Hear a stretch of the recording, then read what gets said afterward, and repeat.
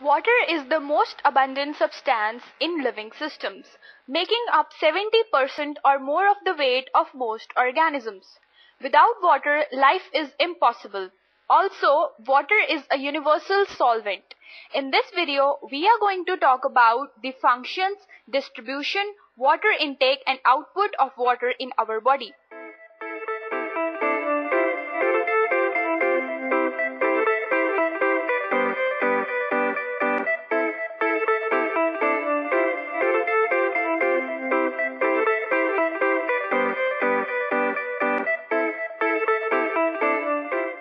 Water is the solvent of life. It is involved in several body functions. Water provides the aqueous medium to the organism which is essential for the various biochemical reactions to occur. Water directly participates as a reactant in several metabolic reactions. It serves as a vehicle for transport of solutes.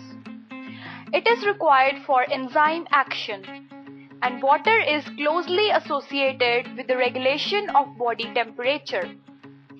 Now let's talk about the distribution of water in our body. Water is the major body constituent. An adult human contains about 60% water. About 55 to 70% water is present in men and about 45 to 60% water is present in women. The women and obese individuals have relatively less water which is due to the higher content of stored fat in an anhydrous form.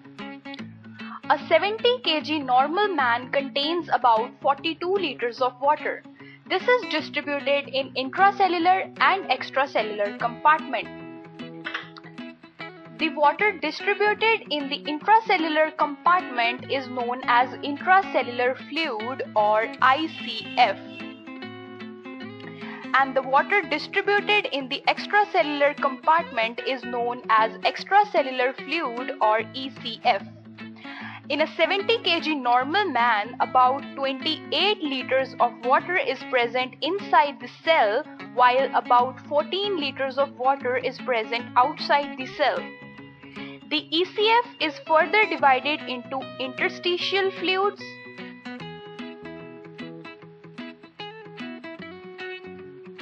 which accounts about 10.5 liters of water and the plasma 3.5 liters. Now let's take a look on the structure of water. The water molecule has a bent geometry. A water molecule is tetrahedron with oxygen at its center. There is an angle of 104.5 degrees between the two hydrogen bonds and there are two lone pairs present on the oxygen atom. The large electronegativity difference between hydrogen and oxygen confers 33% ionic character on the OH bond.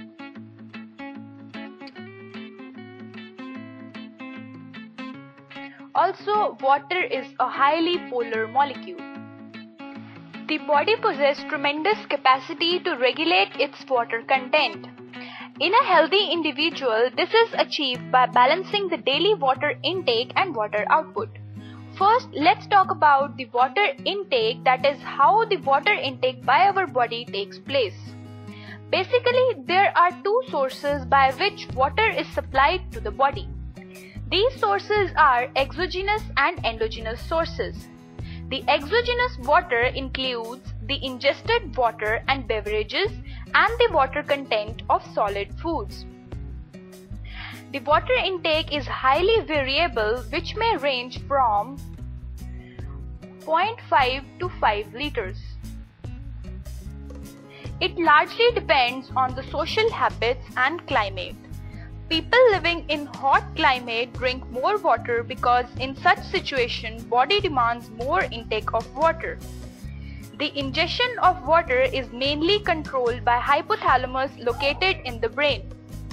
The metabolic water produced within the body is the endogenous water.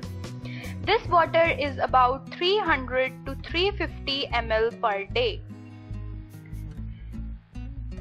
This water is derived from the oxidation of foodstuffs.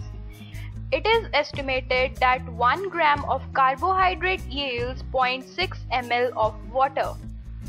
1 gram of protein yields 0.4 ml of water and 1 gram of fat yields 1.1 ml of water. On an average, about 125 ml water is generated for 1000 calories consumed by the body.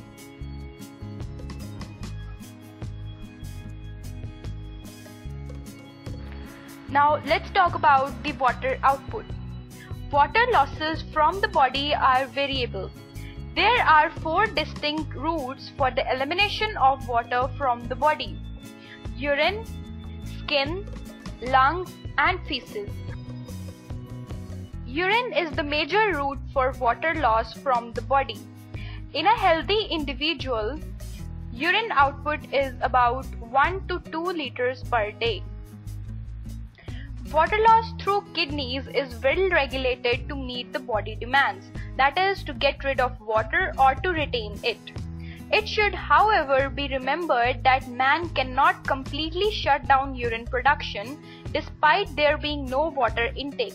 This is due to the fact that some amount of water, about 500 ml per day, is essential as the medium to eliminate the waste products from the body. Now let's understand how the hormonal regulation of urine production takes place. It is surprising to know that about 180 liters of water is filtered by the glomeruli in the renal tubules every day. However, most of this is reabsorbed and only 1 to 2 liters is excreted as urine. Water excretion by the kidney is tightly controlled by vasopressin which is also called antidiuretic hormone ADH this hormone is released by the posterior pituitary gland. The secretion of this antidiuretic hormone is regulated by the osmotic pressure of plasma of blood. An increase in its osmolality promotes ADH secretion that leads to an increased water reabsorption from the renal tubules. Hence, there is less urine output. On the other hand, the decrease in the osmolality suppresses the ADH secretion that results in reduced water reabsorption from the renal tubules. Hence, there is more urine output. Diabetes insipidus is a disorder characterized by the deficiency of ADH which results in an increased loss of water from the body. The next route of water loss we are going to talk about is skin. Loss of water occurs through the body surface by perspiration. About 450 ml per day water is lost by perspiration. This is an unregulated process by the body which mostly depends on the atmospheric temperature and humidity. The loss is more in hot climate. Fever causes increased water loss through the skin. For every 1 degree rise in body temperature, about 15% increase is observed in the loss of water. Now let's talk about the route lungs. During respiration, some amount of water, about 400 ml per day, is lost through the expired air.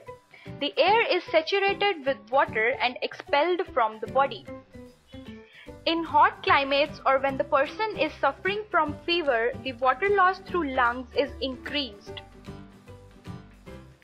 The loss of water by perspiration, that is via skin, and respiration, that is via lungs, is collectively referred to as insensible water loss. It is termed insensible because we are usually unaware of it. The last major route of water loss from the body is feces. Most of the water entering the gastrointestinal tract is reabsorbed by the intestine.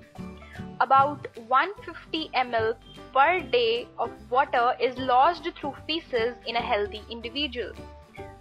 Fecal loss of water is tremendously increased in diarrhea. Now let's take a look on the summary of water intake and output in brief. Out of total 42 liters that is 42,000 ml of body water, the daily water intake constitutes of an estimated 1500 ml ingested water and beverages,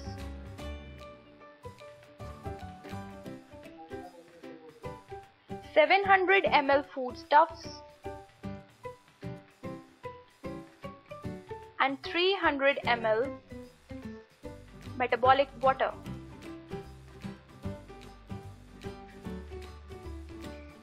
And the output constitutes an estimated 1500 ml urine,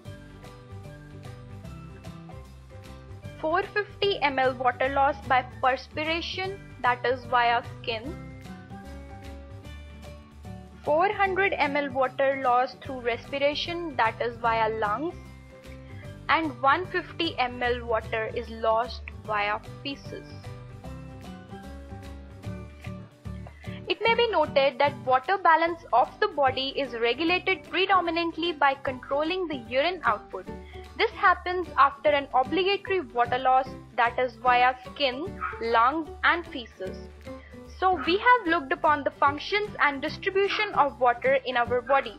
Then we have understood about the sources of water intake and the routes of water output. If you like this video, please subscribe and leave a comment for queries and suggestions.